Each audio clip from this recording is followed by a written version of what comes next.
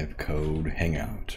We're working on the Western Friend website. The source code is available on GitHub under the Western Friend organization and the WF website project. The task is to switch to PayPal for our payment processor. So far, I've gone through the bookstore and converted those payments over to regular PayPal orders, and I'm in the process of the subscriptions model. So this is sort of done. And the bookstore shopping cart, uh, I fixed this issue, but basically it works now. Now we're working on the subscription page. As an aside, we also have a donation page or button, which I will need to figure out a simple way to essentially launch this donation popover or modal.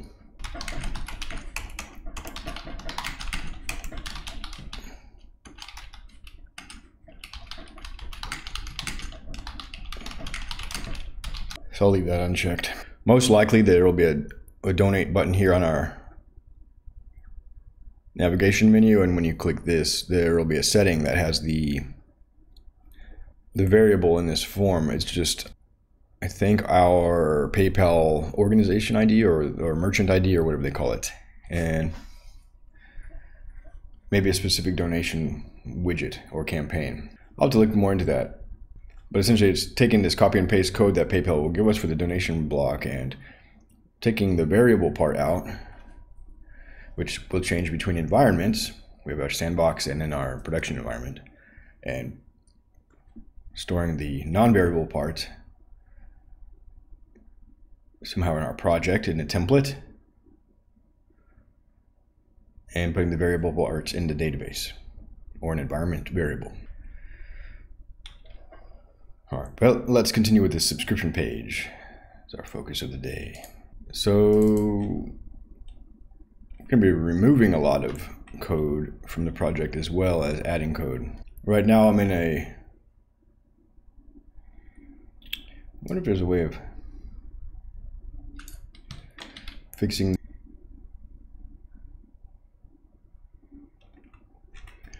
bit different. So I'll just eh, not fight this. I'll just ignore it. Type ignore those. Now this type stuff is really helpful.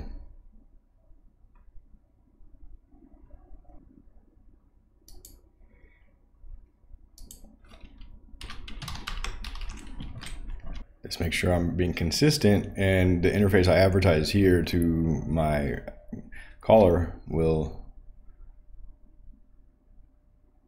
give me what I expect. All right, so let's just commit these real quick.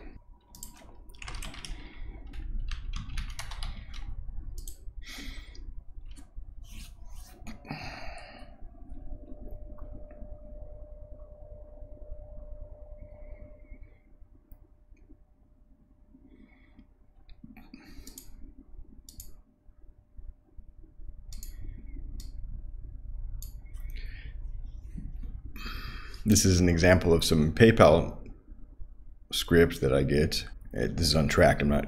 This is just for like a help me remind remember later. The only variable part is here, our subscription plan, and we'll use this in a template which I don't have open. Essentially, I'll store the non-variable stuff like the well perhaps these could be variables as well in the template and then the variable thing will be in an environment variable or wagtail setting or in this live code uh, stream we're going to put them in a sort of block so wagtail block. Let's get to that part so that I can start testing this a little bit more end to end. Right now I'm kind of um, coding in the dark you know using my um, using MyPy and, and things to help and relying on the PayPal generated source code, so I have some confidence that that works. But now our subscription um, page subscribe form is going to change. So it consists of two elements at, at the very least. Uh, we have basically this.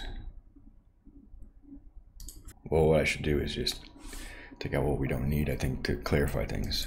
We are our subscription model was completely living in our code, and now we're moving everything over into PayPal. So it's for better for worse going to be managed.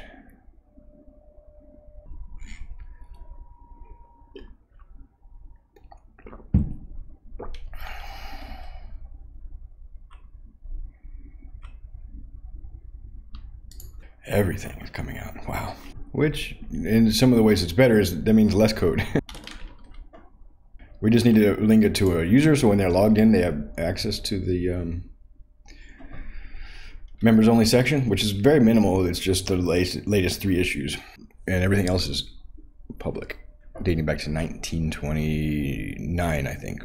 And then a PayPal subscription ID where we'll get all the other information. Wow.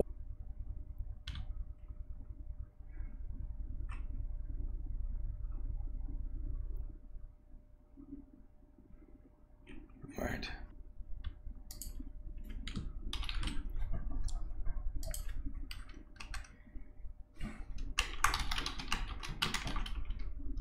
Field panel user and field panel PayPal subscription ID. That's it. Read only true.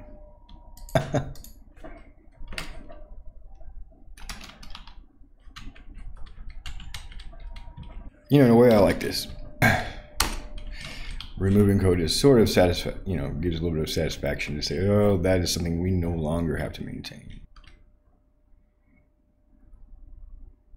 And it's reduced to just a couple of helpers and this helper I wrote in the last session, but basically it'll fetch the subscription from PayPal and check the status if it's active or not.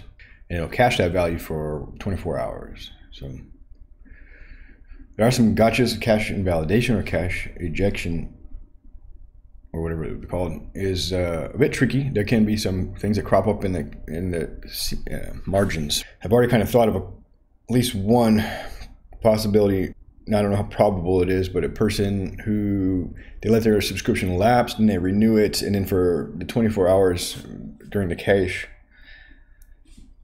lifespan, their subscription is not available. But I thought of a way I could manually eject this by.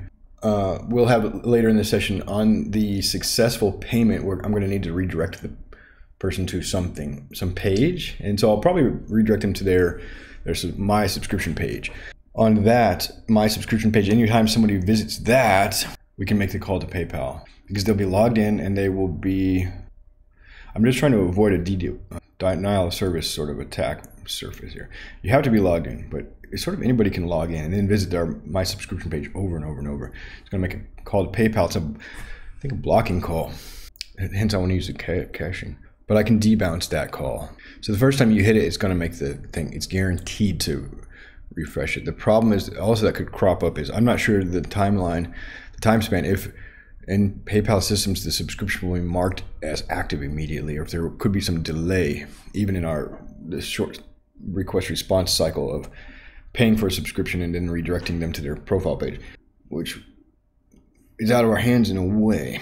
So it's non-trivial, but I don't think it's worth like really big amount of effort at this point. It's a very remote possibility. I'm just trying to think of what what other possibilities might arise. So then we don't have their full name anymore. We don't have cost. We don't have, we don't need this. Wow, our subscription model became almost nothing. I'm just getting, look at all this commented out code.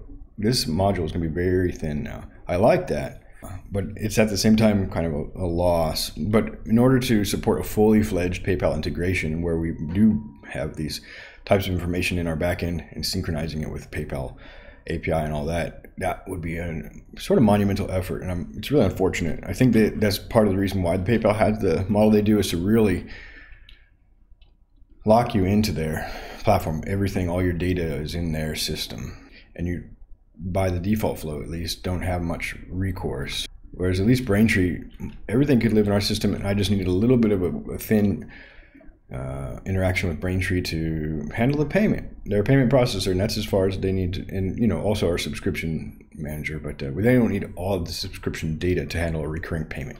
It really is just a recurring payment, and that's the thing that these companies are getting more and more their claws into the subscription, and makes it hard to maneuver away from PayPal, for example. I, I understand the incentive, and it may not be mal- malicious, but I think you know it's intentional on some level.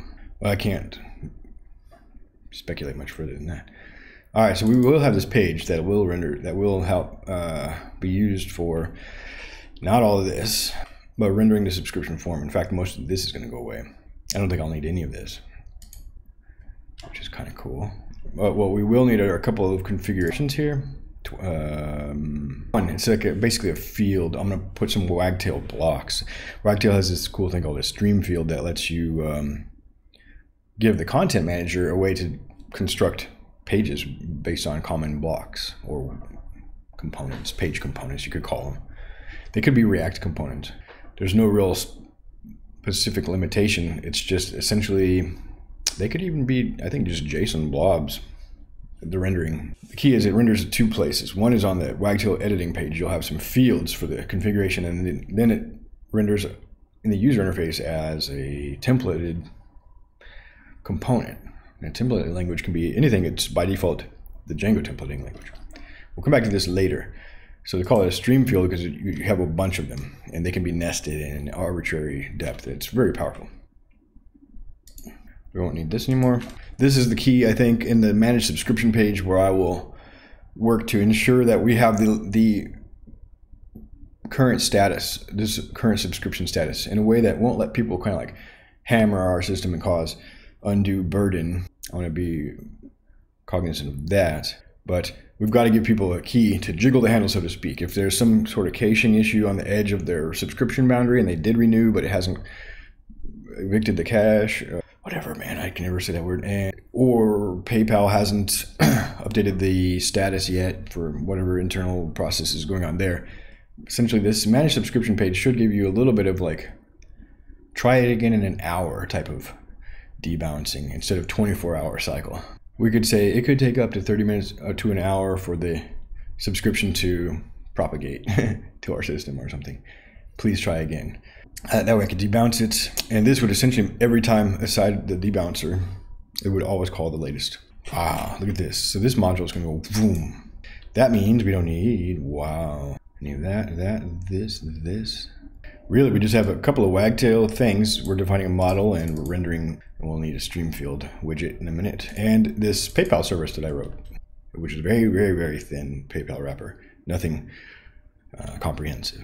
It's just what we need. And it looks like we don't need this anymore. wow, and this. Wow. All right, that said, I think I'll just go ahead and, uh, we will need this. Ah, I see what I did wrong. I was a bit looking at only the yellow text at the end not the beginning.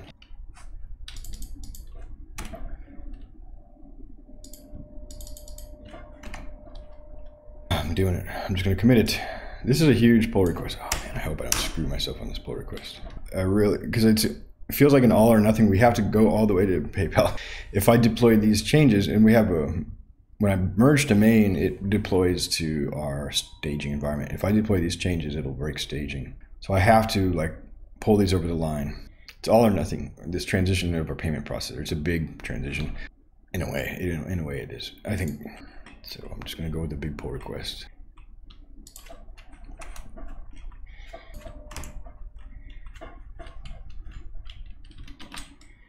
That's a good point. I don't think we do anymore because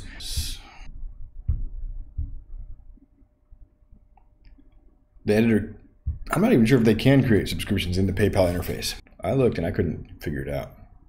I'll remove that. Is that thing editable?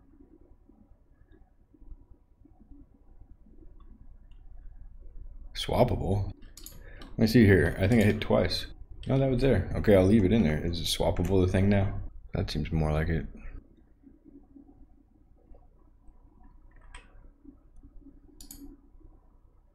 And the paid is going to be determined by the active status in the PayPal uh, API call. So we will need an index so that we can uh, search this. And the user index is automatically created on foreign key fields. I don't know if this should be read-only. If there is some way to create subscriptions offline. I'm going to leave it read-only now because that is the link to PayPal. And without that link, if it somehow gets edited and changed, things will break essentially. So we can display it, but not allow it to be edited. And by the way, this is a feature I requested in Wagtail some, I think about two years ago. Nonetheless, it got implemented. And it's, in my perspective, you know, I'm really grateful to have a responsive um, development team and community behind things where I, for example, had this idea, didn't really have to know-how to implement it, but people weren't like negative about it and pushing it away. They let it percolate in the backlog, and somebody else said, "Yeah, I need that as well," and ended up getting implemented. That's kind of a pretty refreshing. I think Wagtail and Torchbox, particularly, who are the main stewards and developer of the Wagtail CMS, they really have a good uh, user focus, and they realize that developers are the are some of the main users as well as the content managers. And so they have both on both sides of the coin. The user experience is excellent for people who are managing the content on a day-to-day basis and continuing to improve, such as by adding accessibility and other usability enhancements. But also on the developer experience side, the documentation tends to be really high quality. The responsiveness in things like Stack Overflow or on GitHub is like sometimes almost immediate. And you know, it does take some time in cases to percolate an idea, accept or reject it, and implement it. And I've had some ideas that have been rejected as well.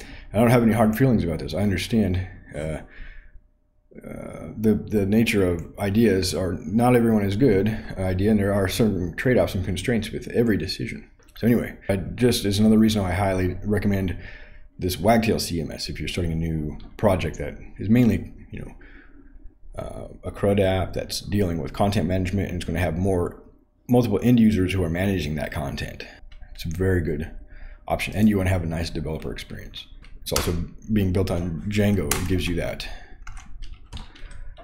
by default. All right, here we go. Python ecosystem is also very mature, somewhat uh, stable, but uh, at the same time capable of growth and adaptation. All right, so now we went down to 90, about 100 lines, about 100 lines. So we're looking good. So our subscription becomes only two fields, user, so that they can access the, the magazine issues, and PayPal subscription ID, which links to all of the info in PayPal. And then there's a property here that's uh, dynamic so it behaves like a field, but it's going to make a call to PayPal, which is cached and debounced. My teacup is empty. I'll take a quick break to refresh. We'll commit this and I will close this stuff here and open the pull request where we're working. I should have mentioned this at the start of the stream. If you'd like to just uh, see the changes that were made in the course of um, porting our project from Braintree to PayPal and imp- implementing PayPal payments and subscriptions, this is the place to look. Cool. You can just check the files changed. It's quite hefty, I understand. And if you just want to see the final outcome, you can just view source. I don't know what it'll be at this state in time in the future. I'll be right back. Okay, so I'm going for it. I'm going to commit this. Wow. Oh, actually,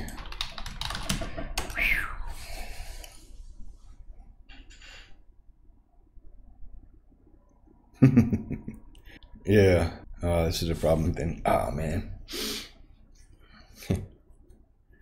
yeah. So basically, what's happening here is one of our old. Um, one of our old migrations is using a function that I'm removing in this commit. This is this happens every once in a while. I get some historic artifact that's been removed. One thing I can do is just this. You can actually edit that.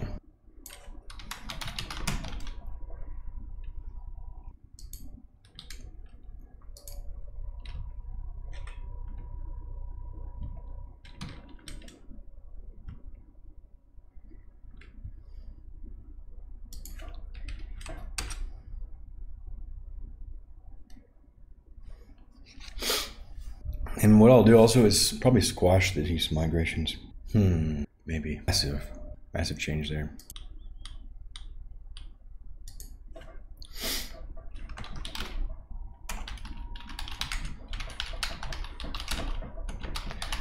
We like simplification, and I know that simplification in one place often involves complexification in another. It's not. It's like there's some like balance of entropy that has to exist. You can't like. Uh, it's like energy. Can't be created or destroyed. Maybe but it seems like things trending towards entropy. I don't know. or whatever it is, complexity at least. I don't think they're quite the same concept. All right, let's push this up. So let's say minus 249 current delta. Refresh the page. Minus 249, going, going, minus 574. So as pull requests go, this is a large one. It's not huge, not massive, but big. T-shirt size. Getting out of the out of the normal range of t-shirt sizes. We'll have to shop at the big people store. Whatever they call it. Big and tall. Big and tall is what it's called in the US. Okay.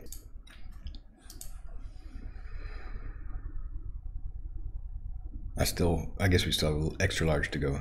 Yeah, now I'm getting some messages from our CI process. It's like, hey, your everything's breaking, alarms are going off. You're, what are you doing? So while I'm here in this mood, we don't need this anymore. We don't need this file. Delete, move to trash. Wow. Whoa, my.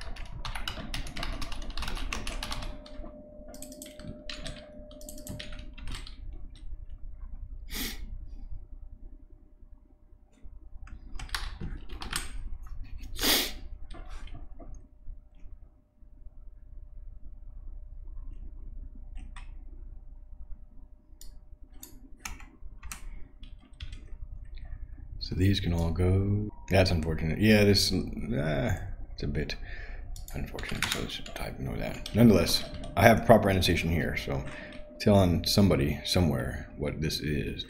Here, no, there's no type annotation because this is a generic method that can sub factory can return any other factory, and uh, those factories return any other arbitrary model. So yeah, can't fix that. Nonetheless, we have right annotation. So let's clean that up.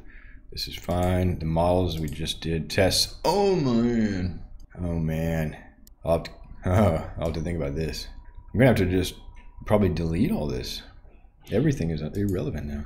Oh, this is, man, this is extensive. If all we do today is delete progress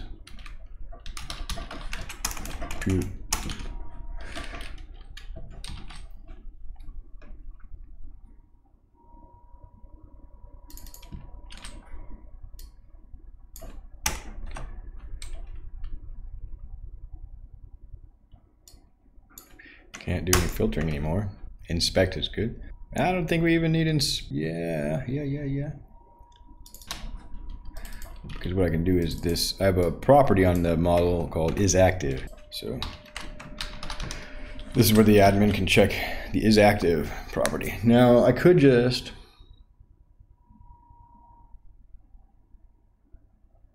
do that when rendering the table and hopefully it would do it lazily, lazily, and not block the whole this is going to, Wagtail is going to use this to generate a listing of all the subscriptions. And these fields are stored in the database. This property comes from, you know, PayPal has to make an HTTP request.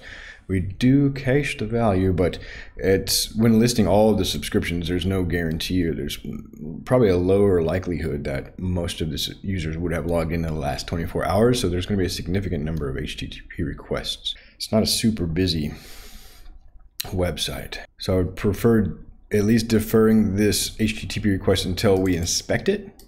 If that's even how this works, I don't know if the inspect view defers whatever happens, renders the template on request.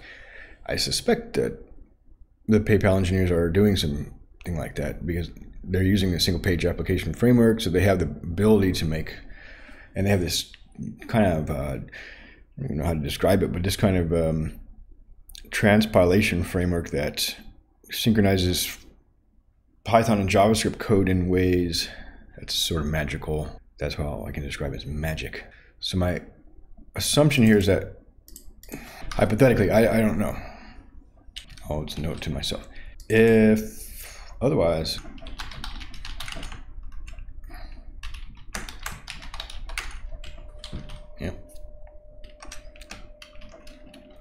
Note to self, little details. Oops, but I do want to, I want to comment that out for now. So if it can lazily load those isActives, it's okay that we make a bunch of HTTP requests if they're sort of async and they kind of come into the template dynamically. So this is where the single page app architecture is effective. You can also do this with with um, things like HTTPX, which um, Wagtail is not. HTMX, HTMX. And I not writing any of the Wagtail admin code, and uh, you can override it, but it's just out of my, it's above my pay grade right now, and uh, I just don't have the knowledge or time to dig into that. So yeah, it's available, possible, but uh, let's kind of come back to this. I've got to dos, to dos to do. All right, so that's that. Just simplified that. This subscription webhook view. So any Braintree stuff doesn't compute now. I'm holding shift and it's not, it's going down. I have to hold control. Shift is horizontal. Or just no modifier. Shift to select. That's my brain is getting garbled.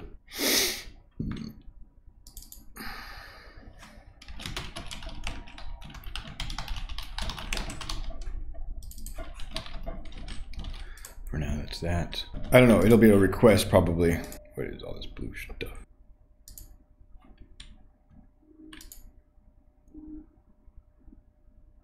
Yeah, it's defined here. No need. I'll just leave it like this. It's just the helper function. Ah, here we go to get the request from PayPal. Call this, and uh, in a way, this should move into the PayPal module. To be honest, yeah. This could be the essentially PayPal IPN or something like that. This could be the solution to making the status live in our database, so we wouldn't need these HTTP requests. If and when we cross this bridge, I'll change the data model accordingly, but in this interim period, I'm going to rely on these helpers to um, hook. Yeah, this is good. I like it. This will be a follow-up issue, though. And while I'm here, while I'm here, I don't need any kind of, uh, well, I just want to remind myself.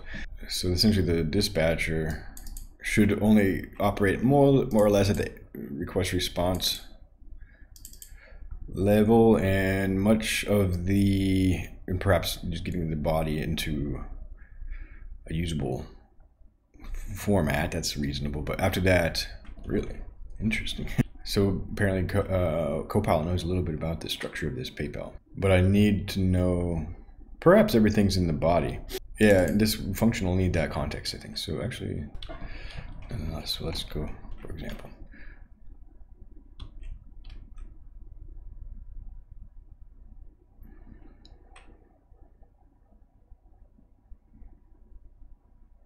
Here's one way I could use exclusively webhooks and not have to worry about this callback. I don't know that. Again, this is about the asynchronous nature of this interaction between our system and PayPal. I don't know. I can't just.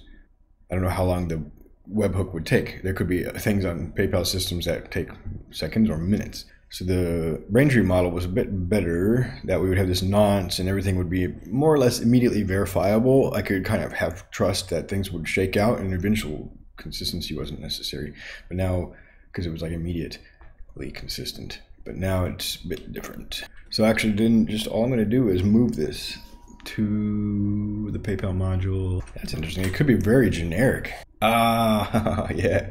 This is the one we can't do, right?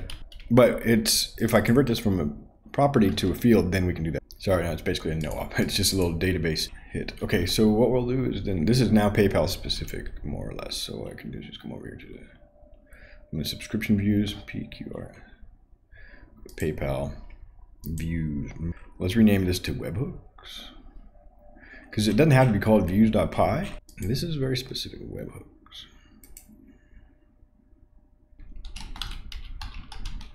you know, it's a convention. Now what we can do is come over here to PayPal. Webhooks. Move it. Uh, look at all this breaking code. I'll come back to this. We're going to be working on this today. Just get to a little bit of a spot. All right, let's see. There's now just a bunch of things I can clean up. What do I do in tests? Nothing yet. Yeah, and this is essentially our template, and you can see we're using this value plan ID here, and then getting a value back from PayPal with which I will redirect to either success or the my subscription page. Trying to glue all this together. It's just an incremental process. I got to keep a bunch of things in my mind and work at them chip away i don't have a to-do list this is i'm kind of just in it ah uh, yeah so then then we don't need this file, URLs at all. It's the only thing it's doing subscription URLs is uh, handling the webhook. I'll come back to the webhook later. So subscription and this PayPal JS is this kind of placeholder thing. Uh, I don't think I need it anymore. It's I've already got a template for this. So let's just static subscription is unnecessary. So static is unnecessary. Delete that. It's not tracked. It's not needed. I can get it from PayPal again. URL pi is unneeded. Kind of pruning tests. A lot of this is unneeded. This is huge. 600 lines.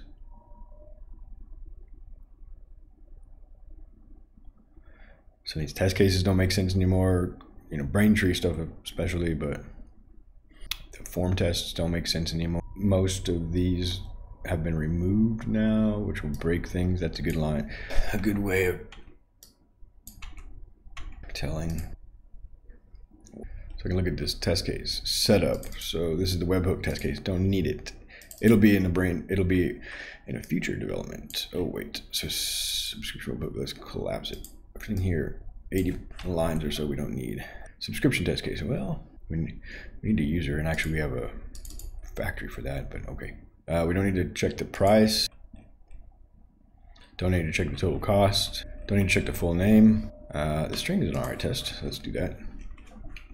tear down. They're very thin. So format is. So there's that. Subscription webhook view. Don't need it. So don't need it. Uh, we're not going to use this um, form anymore. The index page we will use. We not have the form. In, don't need the price component check. Don't need a validated form check we will want to redirect unauthenticated users to a login. We don't need the form check.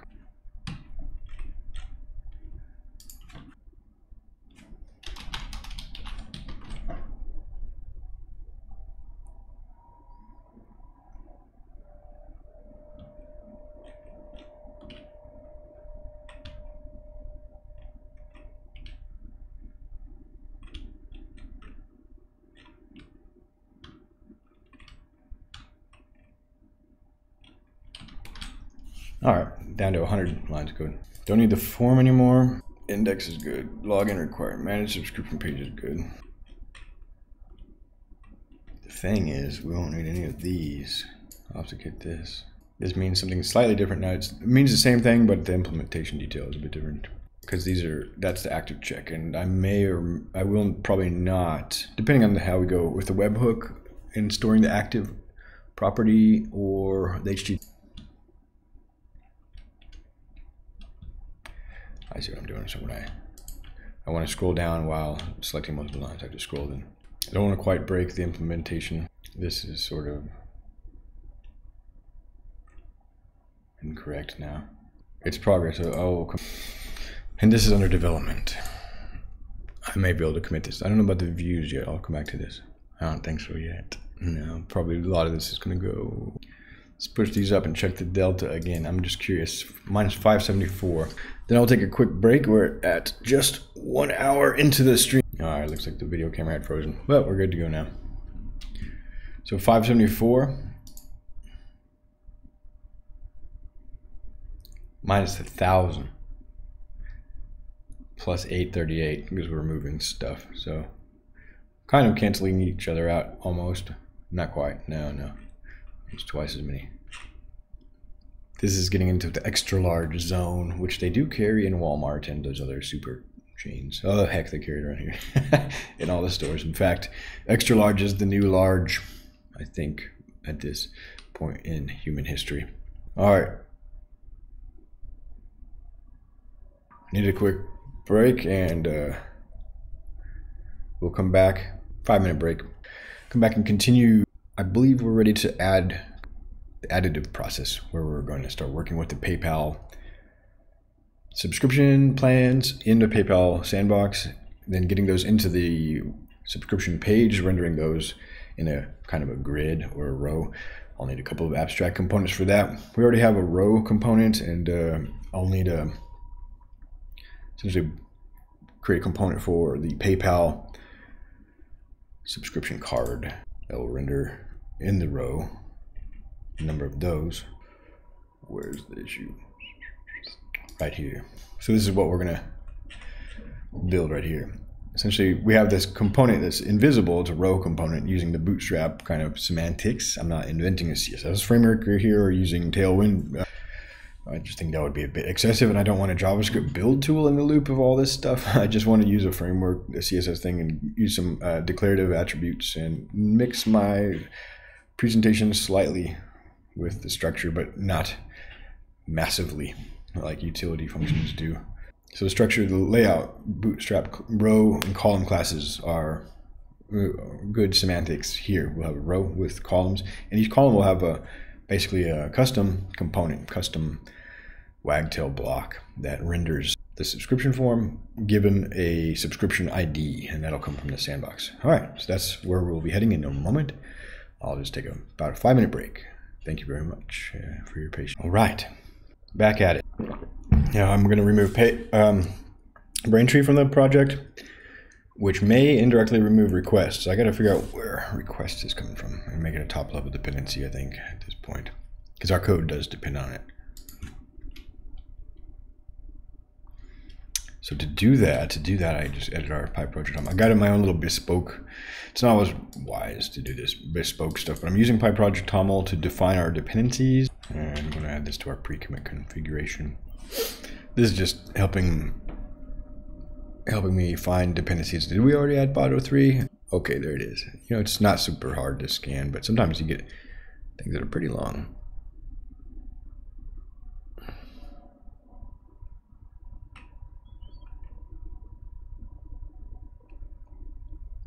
All right, so that, that flag was uh, hallucinated. That's cool. That's cool.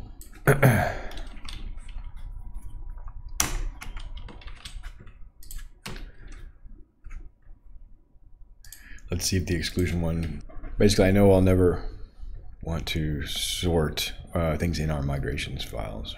Uh, I think that's the right pattern for it. Anyway, dot slash star migrations. I don't know. Startup. Uh, Mm, apparently. Yeah, so that changed our pie PyProject. See, now it's nice, nice and sorted. Because in this dependency level, it doesn't matter. There's no chain. There's no graph, dependency graph here. It's just a, a, list. So I'm just gonna say remove. What I did was sort and remove it once. Let's just let's do these in separate commits. I don't know. Uh, PyProject TOML index though PyProject TOML. See that one Braintree. Maybe that would work. I don't know. It's a good guess though. Wow, this is interesting. This is coming in now. What I would like is this to be in the pull request when I create a pull request. Now we'll come over to Braintree. And remove that. It'll remain sorted. Then I'll use my little helper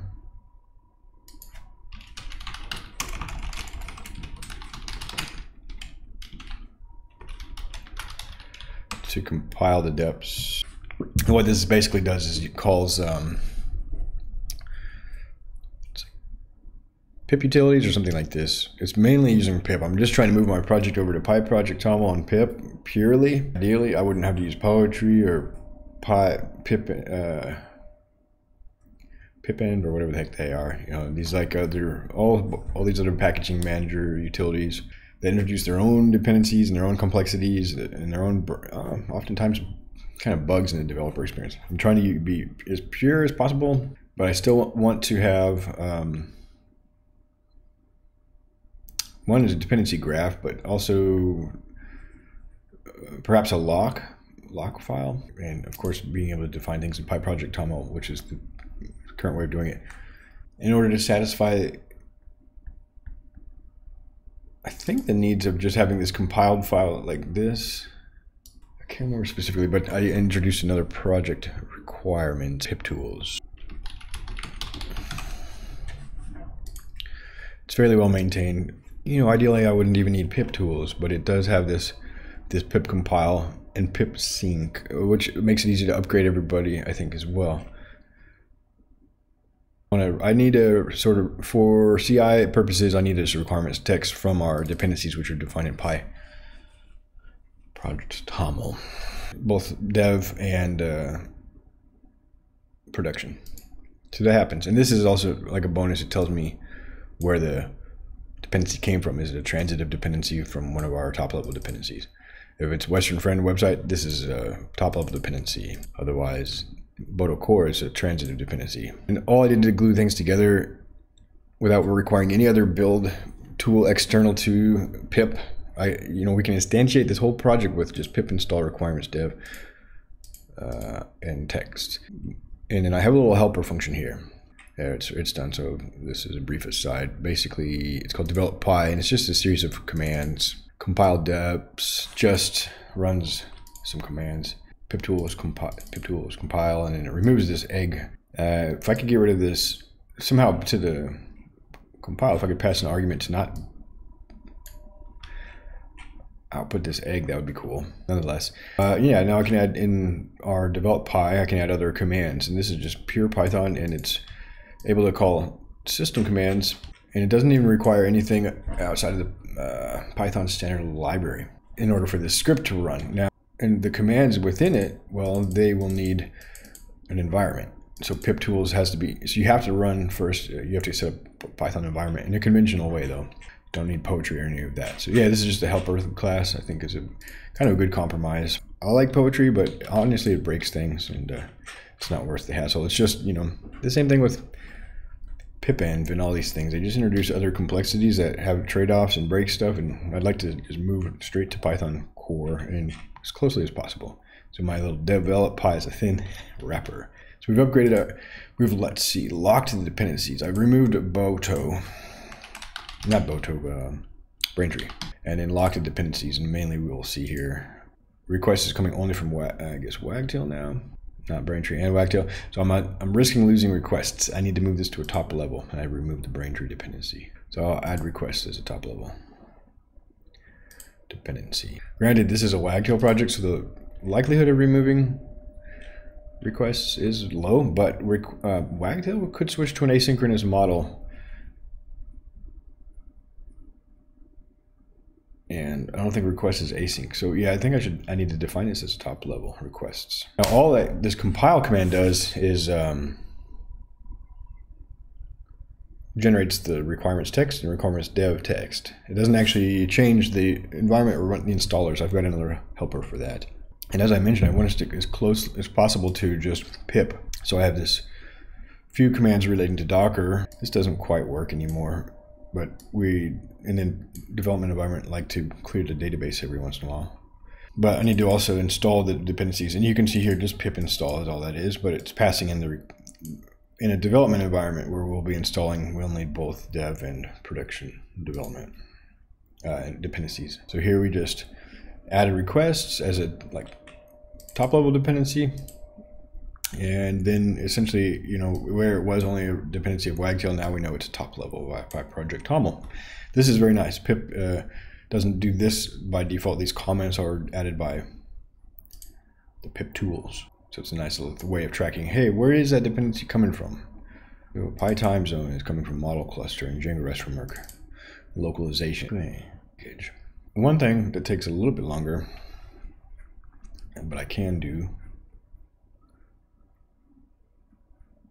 in this dev.py's upgrade dependencies. I'll just show how that works. Update deps. It updates our pre-commits and upgrades our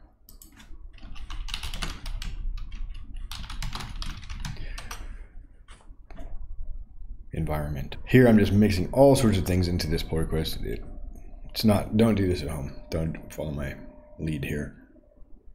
This is why not to do that. But it's nice, it does everything in once. Most of these are point upgrades. Django has a security release. We need to keep that up to date anyway. Model cluster, PG. Most of these are non-backwards compatibility breaking except URL lib. Let's roll it. Roll with it. Those were the webhooks. And then running this now is helping me identify some last minute uh, cleanup. I'm sort of earmarking this. I'm having some network difficulties. Before committing this, I just want to make sure that I've got some of the front end stuff ready to uh, ready to render this template. So let's now get to that.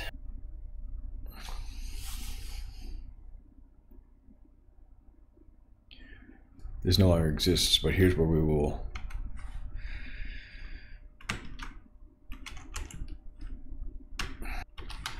the page body will stream field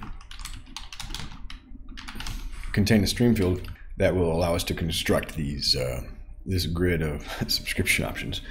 We should only have three, but uh, whatever. Sometimes you're just clinging to the way things did used to work. It's going to lead to weirdness. Not always, but sometimes. So uh, what we got is a subscription index page. An intro, now we need a body. Equals stream field.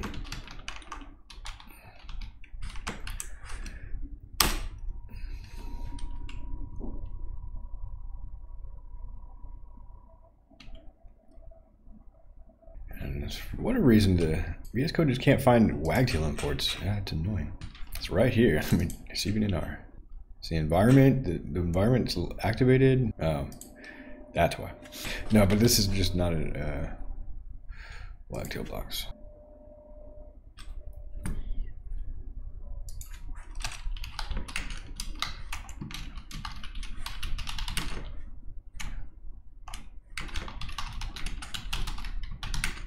Whoops, we will not have an image chooser, but the intro text, let's see, the intro text already exists. Uh, the editor can decide what they want on this page. From WF blocks, from blocks as WF blocks. We're to create a distinction between that. And in this index page, we will allow a, not an image, that's a bit too much what we will allow row. And this doesn't exist, apparently. We have a card row, media block.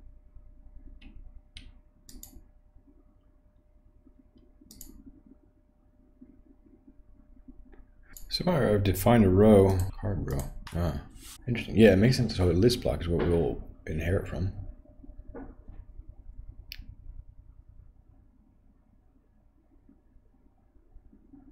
Fairly meta.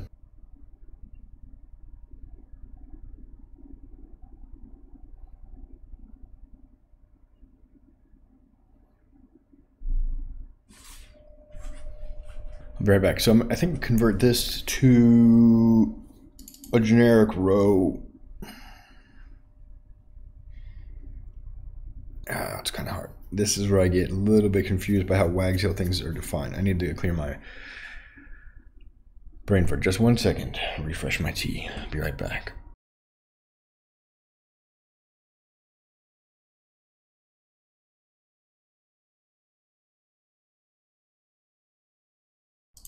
Now the thing here to decide is how general or specific I want to be. Am I going to make a general solution that lets lets the editor define an arbitrary row of, of columns? That's essentially what Bootstrap gives us, and the developer uses those typically that would be a beneficial feature, then the content manager could just do whatever they want with that row and column grid, and uh, it would solve use cases outside of just this subscription flow.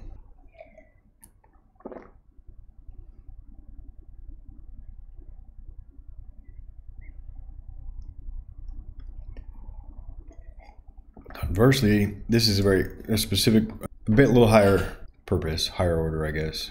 It's for viewing listing page cards, it's a card row. It's still at the level layer of Bootstrap.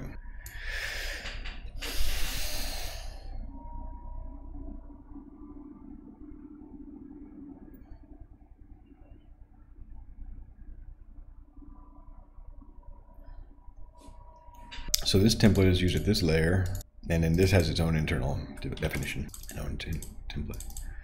It's essentially a struct block. I believe that's where I should start perhaps at the leaf node right now. Yeah. So leaf node is a PayPal.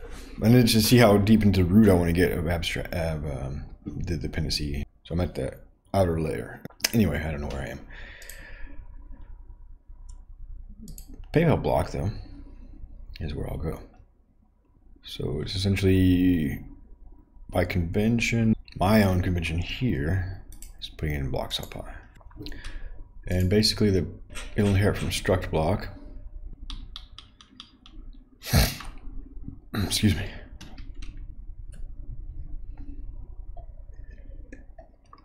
And it's pretty close, except we just don't need the user. Now we need this HTML, which I have in another file.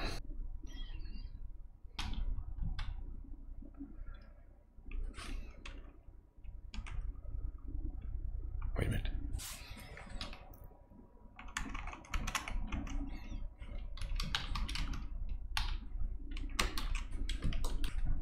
Right. I believe I'll put it here, templates PayPal. I don't know that there will be other blocks, but to distinguish it,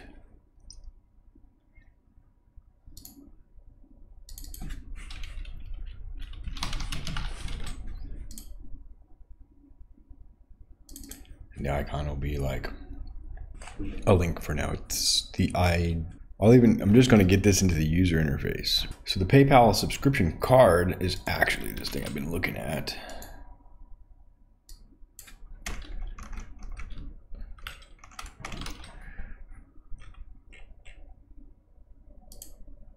Here.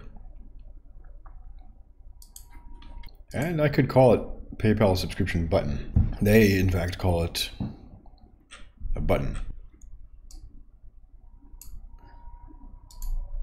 Then I don't need this. Then I can change a little bit of my definition.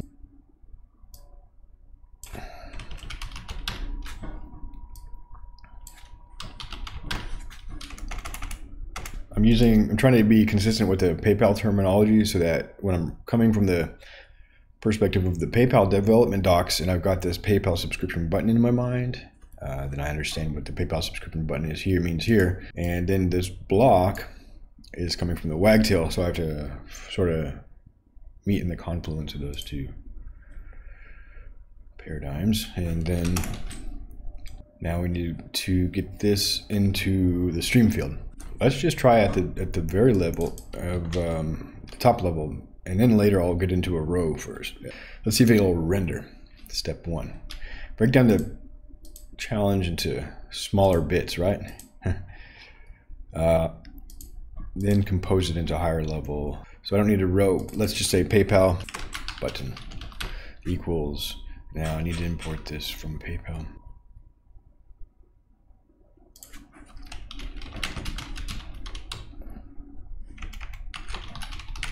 PayPal blocks. Did I get it? Yeah. It's just not used. And where's my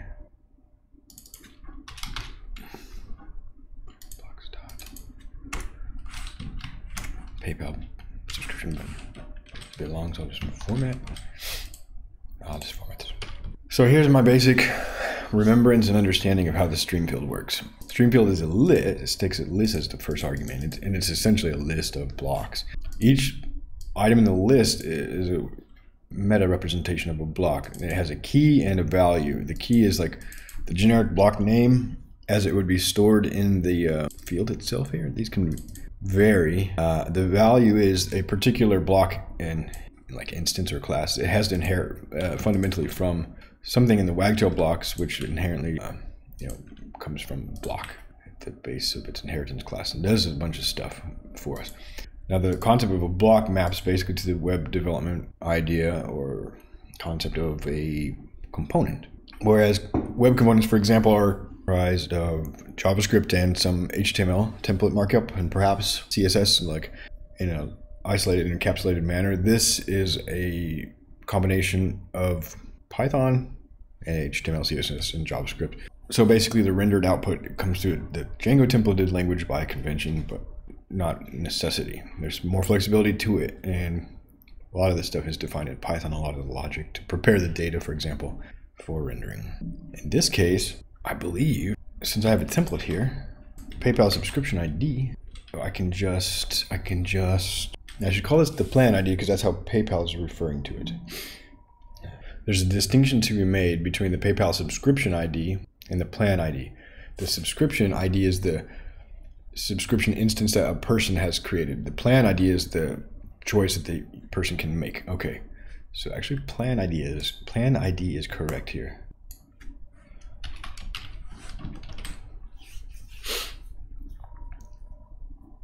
And this is a bit verbose, but yeah.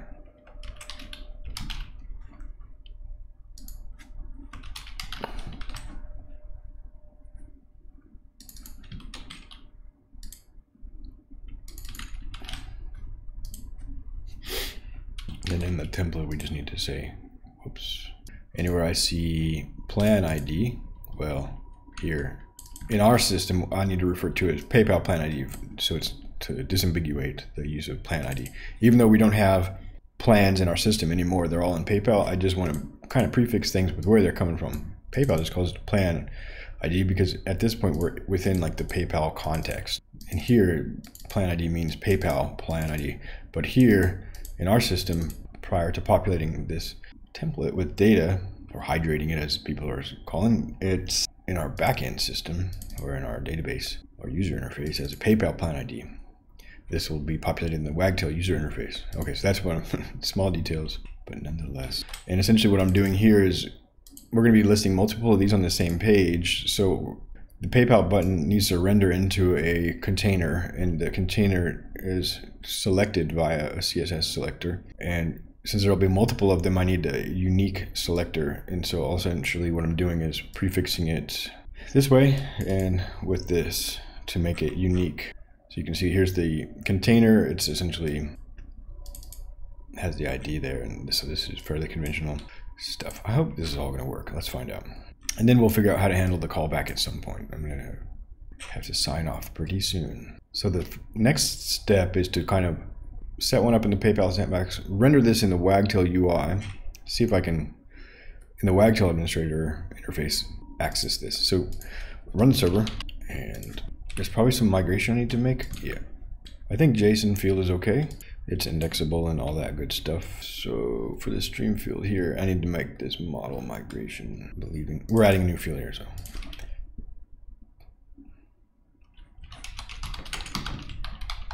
And we'll migrate that in. We will then access it. We will then go to login.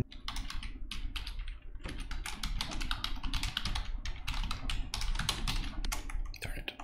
And we will go to the administrative interface. And essentially in the Wagtail page hierarchy, we have a root page and a subscribe page. Now if I edit this, we have the intro and the body's missing because I haven't added it here. Once this reloads, if there it goes, I can reload here and we'll have a body field here, which is essentially a stream field. It's a list of blocks. And so far I've allowed two blocks and each has an icon. And so I can add a paragraph, some nice paragraph text, and then a PayPal button, which will take a PayPal plan ID. And, uh, you know, this is very powerful and cool interface. There's like inline commenting. You can move stuff around, copy blocks, arrange it, uh, preview it. This is all generated by Wagtail. It's very cool. Like I was saying at the beginning of this stream, it's essentially a, a really well designed and evolved uh, content editor experience, user experience. Whereas we've been mostly focusing on the developer experience here. I'll come back to these. So I need to get a PayPal plan ID, Sandbox, PayPal, email or phone number. Over here, I have my PayPal uh, Sandbox user account. Let me grab that just mute real quick while I'm doing this.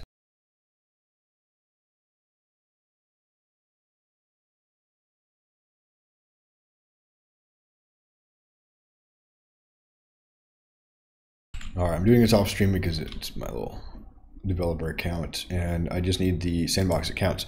We're going to log into the business account for the sandbox user, which is this. First time I copy it to clipboard, it gives an undefined JavaScript error. Great. UX PayPal. And I asked it to go to the transaction log, which, you know, it's got some dummy data. It's refreshing this. Uh, what do we need to do is pay or get paid. I'll maximize this so it's easier to find. I think it's under finance, sales, descriptions. Here we go. Now, I just need the plan ID. I think I've already defined one. No. Okay, so we will accept those in the sandbox. Oh, there it is. yeah, so we've already got a defined one. Let's just grab it real quick. This is the plan subscription plan ID. And you essentially just paste it there and um, publish. And it, okay, so here's the subscribe page now. We have just some text and there is like, if you notice an intro text field and body field. We're going to come to this in just a moment. I published that and I view live and we don't even see the introduction text. So there's already a problem, but that's cool. We'll fix it. So now we're going to look at the subscription index page here. And as it was plain to see there's no introduction text. So let's do this. Uh, if page dot intro, right? Is that it? Yeah, so we save this and then refresh it, I think, or is it still thinking about it? Oh, this is wagtail. Whoops, load. That's right. Wow. And just this though, all I need. Oh, but not everything. Damn.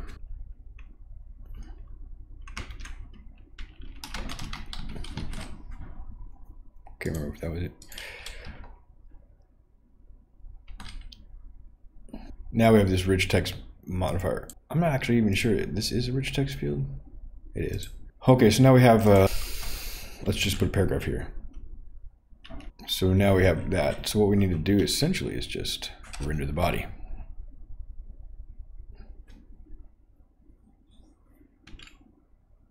And I'll just check, uh, it might just be this. Ah, okay. Ah, okay, okay.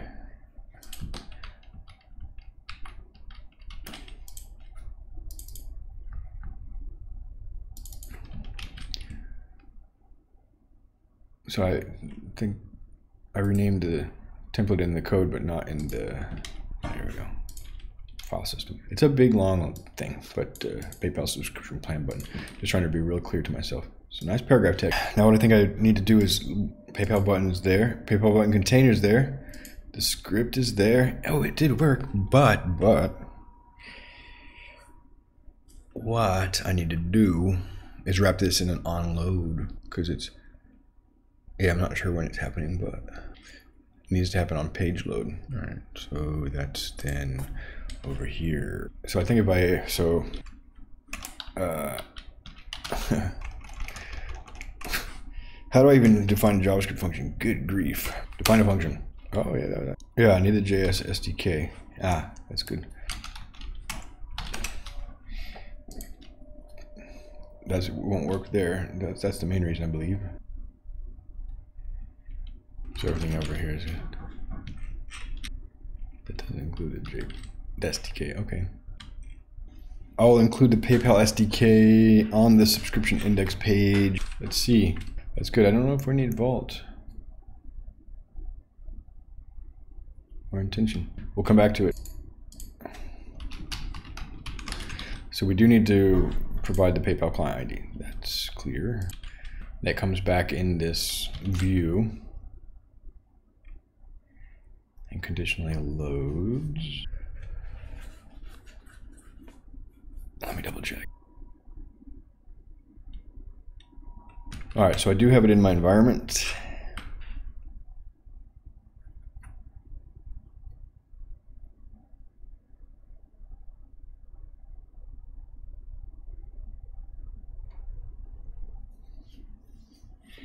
Let me double check here. That's the correct one. Yeah. So what we'll do is in this view that renders the index HTML, which is this model index page, we will override the get context.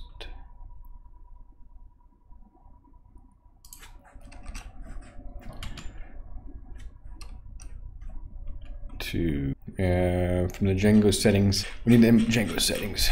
So from Django, we have settings. I'm using WF blocks right now.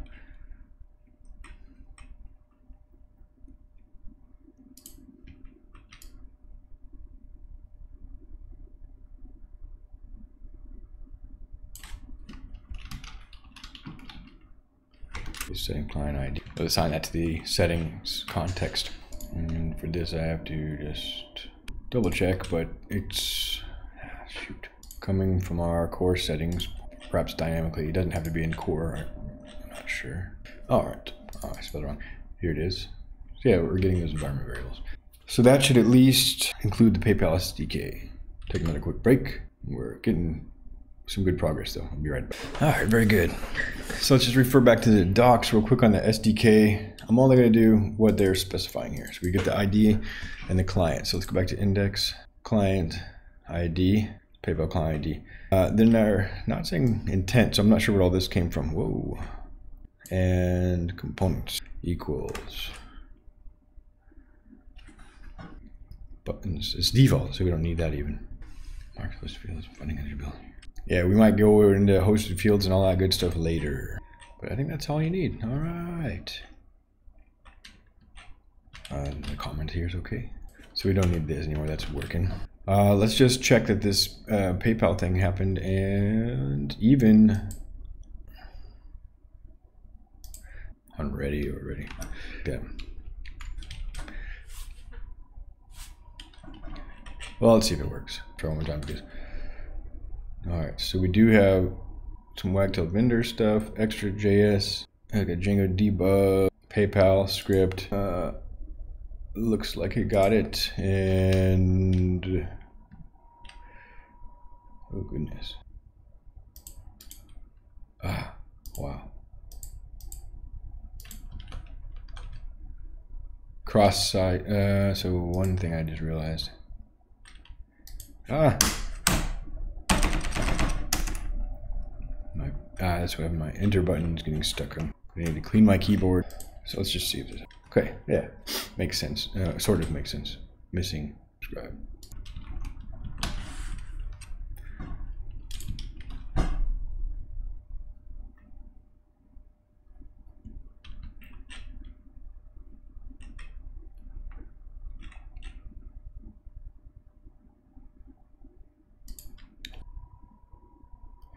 We had 200 here. I think this is being called before that's so on page load. Why? It's either my keyboard button is stuck. It's like there we are. That's what I'm after. Or something's going wrong with my Bluetooth. Maybe I should just get a wired keyboard, honestly.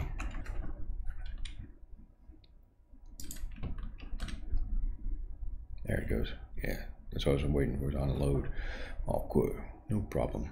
So we get a PayPal thing. And then what happens? Okay, so it's not quite working, but it's sort of getting close. Vault is true. Okay. There's something that's in my computer freaking out, causing a bunch of key presses. I got a really cheap keyboard a while back. Wireless? I was looking for a quiet one. Uh, okay, so basically Vault is true needs to be passed to the SDK. Come on. Stay with it. Look at this. It's when my computer starts to think. It's like not even that I'm pressing the button. So we did need that. Vault is true. And equals true. Very cool. And maybe the intent is there. That it was also maybe not hallucinated. This is getting dysfunctional. This is also like a strange long-standing... Uh, now granted, I make typos. But there's also been this weird buffer issue where my key presses come out in the wrong order. I think it's this keyboard. This was probably a typo, but also since this keyboard is freaking out so much. I'm wondering. Intended subscription. Wow, that was on the money. It were it was correct. Our favicon is not there. That's a different thing. All right. Okay. Something else. Oh my gosh. All right. Our value's not there. We're getting close. These are different errors. And when we have different errors, that's exciting. So, so here's the problem now. The context is shifted. It's in a block. I, to get data from the block is like kind of a thing called block dot. This is just a reminder. I need to take a break.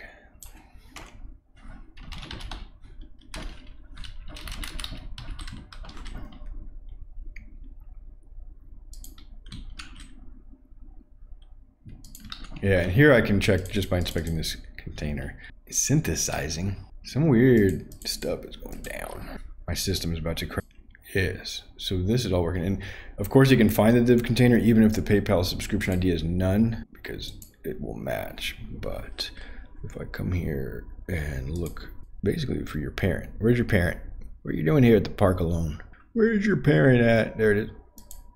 Okay, well, let's just go this way. Uh, or, you know, the other way to do it is just do this. Paragraph it. Synthesizing. Don't synthesize. This is what happens when AI starts to get involved. Technology starts to go awry. This type of stuff. It's not what we expect from like the Terminator movies. It's just mind-boggling strangeness. Things just not working. All right, I'm guessing here. So that was the wrong guess. I'll just look at another block that we've used, a template. So in the blocks, value. Oh, okay, yeah, close. All right. So block dot turns to value dot. No, don't synthesize. Oh my gosh. Don't synthesize. Mm, synthesis is happening. See, it's like still hitting enter. Is it my keyboard? Is it my editor? Is it my operating system? Is it my AI personal assistant? Stop. I wonder. I wonder. Yes. Yes. Yes. Yes. But okay, it's progress. It's a good stopping point. In fact, I need to go get some lunch. The problem is it's not displaying this information.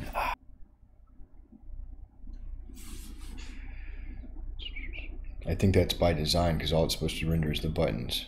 Yeah, okay. Well, I think we'll just need to make an API call to get that data and fill it in to enter. Yeah, because if I, for example, create a plan, delete, delete plan. Well, 10 euros, $10. You know, it's the affordable one.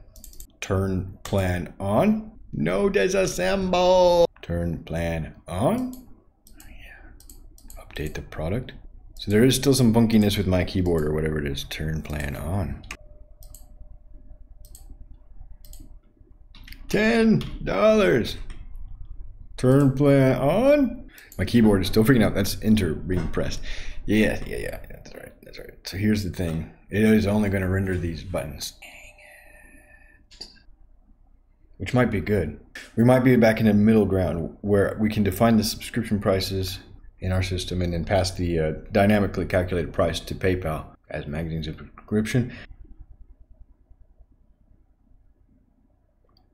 I'll have to come back to this, but yeah, I think it's definitely progress, definitely progress.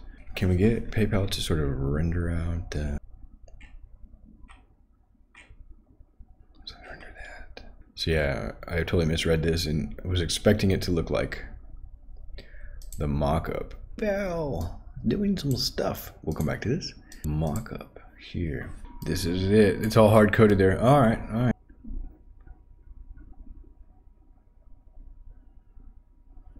Specify only the backend and somehow dynamically, when we create a subscription instance, pass in by this configuration object the pricing configuration. Those are like the three kind of ways I uh, I was leaning towards the last way of doing this dynamic calculation and then subscribing and getting the subscription instance back.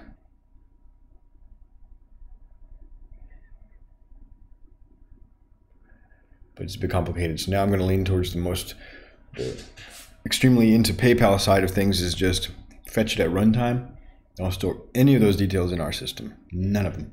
Completely with PayPal. So for that, I'll need to grab this uh, via the API, and I can do this in a call, you know, in our backend when when constructing the page context, which means it's going to be a bit slow, but we'll cache the value for some amount of time. We'll need a way to bust the cache. Even for one day, though, I think is pretty decent. Yeah, all right. But hey, this is actually really good progress. I'll have to think more about it, but uh, excellent stopping point because we've got the card rendering in the user interface, right? Where is it? Again, here. Boom.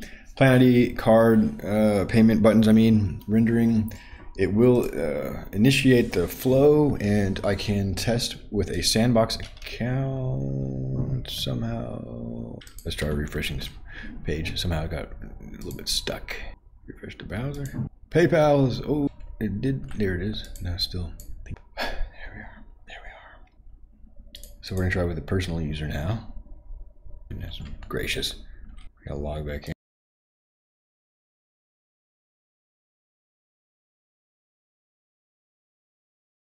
Logged back in. Personal sandbox user. Copy. Paste. Copy, copy twice just so we don't get undefined pasty. And yeah, so it's got the value and it's got a fake thing and then it's got this agree and subscribe. Let's just see if we get an end-to-end transaction. That's a big milestone actually. And no alert, no alert. So something else. Okay, I think we're like 90% of the way there on air. I think I need an error handler. Yeah, I've got Copilot shut off. It's I don't think Copilot was the problem. Definitely not Copilot with this enter problem. I think something my keyboard was triggering Copilot. I don't think it was the fundamental issue here.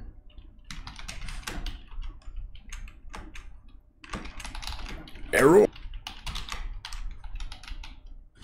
And we'll uh, log it out so you see the keyboard still doing it. And I think that was why I was triggering.